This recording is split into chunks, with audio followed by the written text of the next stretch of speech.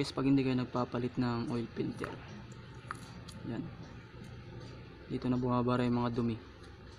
Hindi na ngayon makaka pasok yung oil sa loob.